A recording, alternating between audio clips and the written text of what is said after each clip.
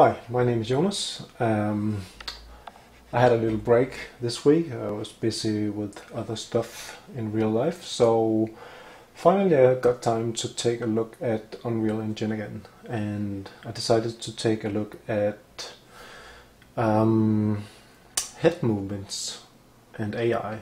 So, first of all, meet Bobby. Bobby, where are you? This is Bobby. He's a mean motherfucker, as you can see, with beard and stuff. I haven't fixed all the textures, but anyway, uh, just a character I made from uh, Fuse. So, this Bobby dude, he is sharing my animation um, blueprint. So, me, my player, and Bobby, we are sharing the same animations. And First of all, let me just demonstrate what uh, I've done and then I will explain how I did it. Because that's usually what people are looking for, at least what I'm looking for. So, basically, if I approach Bobby, he will uh, notice me and he will follow me around, as you can see, maybe. It's visible here, you can see maybe if I move over here, his head is turning against me. So I nicked this from uh, another tutorial, but I went on and built a little bit on it. So if I walk out up here, he will also look up at me. So what are you doing up there, guy? And if I come over here and I crouch, he was he was gonna look down and look kind of, what the fuck are you doing down there, buddy? With light coming out of your head. So, and another little thing I added on to this uh, tutorial uh, was that if I he was he will follow me, but if I turn around the corner, I will I will break line of sight. He will not be able to see me anymore. So if I sneak around this corner, he will see me, and he will turn his head. If I come outside his uh, vision, he will stop looking at me and return to neutral. So that's what I've been doing. Um, so let's take a look at how it's done. Um, inside, most of the stuff, actually all of the stuff is made inside uh, the animation blueprint. And um, starting off the, not that one, the event graph, uh, we have our trusty uh, event blueprint update animation and this is starting to be kind of a mess, but anyway, so I decided to uh, encapsulate this inside a function. So uh, I have made a function called turn head to player, taking um, a reference to himself, uh, because this is run by both me and Bobby. So this is Bobby, uh, or this could actually be me, and this is uh, a reference to me my uh, the player. So this is obviously only working for a single player game so far. And then it's also taking a socket name because it uh, we need to tell what Bobby should be looking at. So if we step inside this one, uh, we have a, a lot of stuff going on. The first thing here is just a, a, bunch of initial settings of some variables and uh, I won't go into detail with that but it's just basically setting all the the parameters coming in as uh, local variables so I don't have to drag all these uh, lines and end up with a bunch of spaghetti. So um, and after that I check if uh, I'm myself uh, so I make sure that I don't track myself so uh, let's take, uh, let's assume that we are Bobby for now. Then this will be Bobby and this will be me, our player. So in that case, this will interrupt true. So then I have a distance, uh, so how far will I look for me? How, how uh, far away will I be from Bobby until he notices me?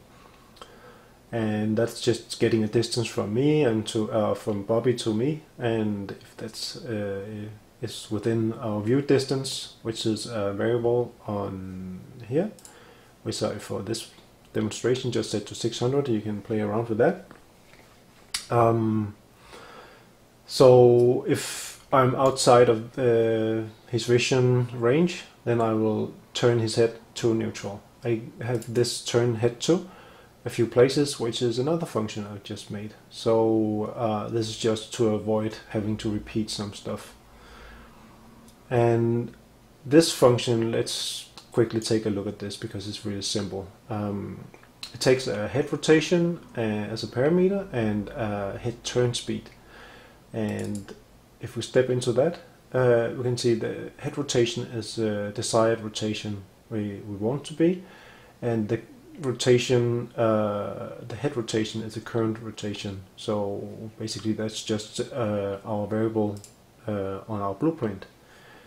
And this is just a world delta, and the interp speed is what we uh, feed in as a head turn speed. And then we just set the head rotation after using this R interp tool.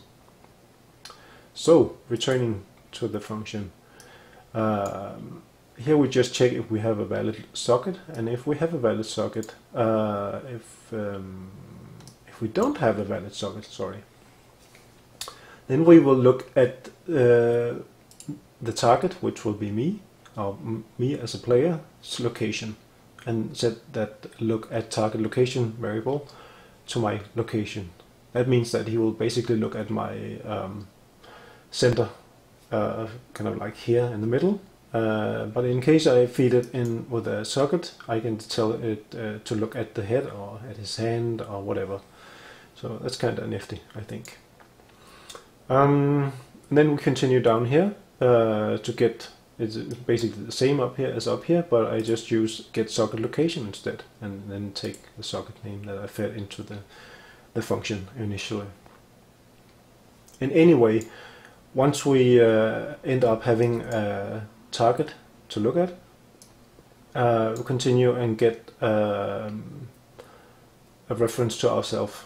Um, and if uh, that is, is valid, I can't remember why I have this check.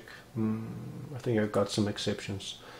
Uh, it will um, make a trace line from our self up to our target and say if we hit basically uh, then he can see us. And then he will start uh, to turn his head using this turn to down here. Um, let me make, just make this a little bit smaller. And if we can't see us uh, anymore or if it's, it's not an, uh, uh, an actor that he's looking at, if for example he's uh, hitting a wall then he will slowly return his head to uh, neutral. And that's why we use the turn head to again. So that's two places where I have it already and then two times over here. So it makes good sense to have this. Anyway, all the magic uh, happens in this area called head rotation calculation stuff.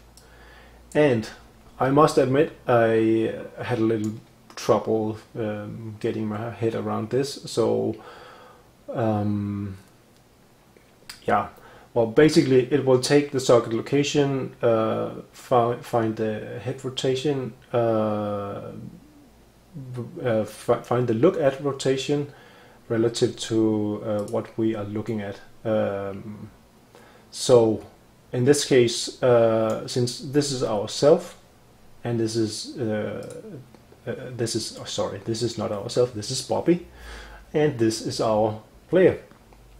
So I'll find a uh, look at rotation and then it will uh, break this rotation. This this part down here is uh, the calculation that makes him look up and down, and this part with the pitch, where I'm negating the value and put it feeding it into the roll. I have no idea why that works actually, but it didn't work uh, when I used roll uh, minus roll. Um, if I I figured that it was roll that I had to use because when I was testing this, uh, I have um,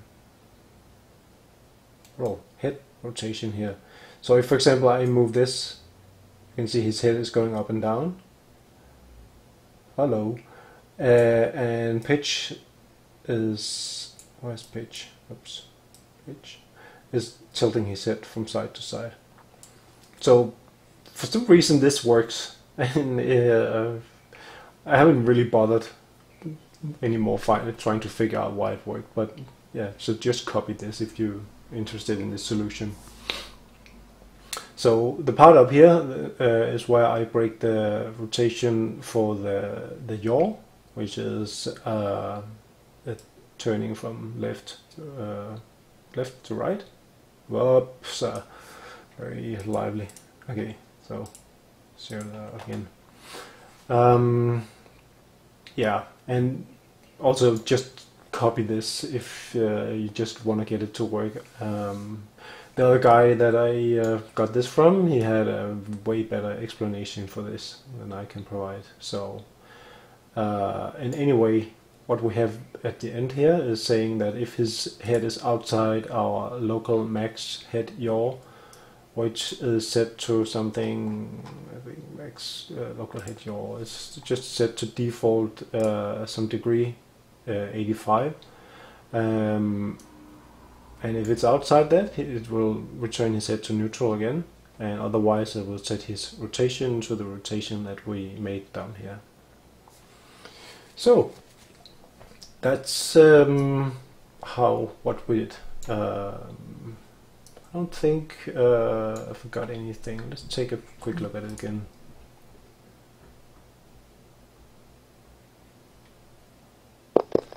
So let's go. He says hi and he looks away and he looks and he keeps following us and when I break line of sight he looks away and all that stuff.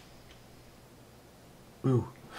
Alright guys, thank you for watching. Um, hope you liked it and if you have questions or anything just let me know. Bye bye.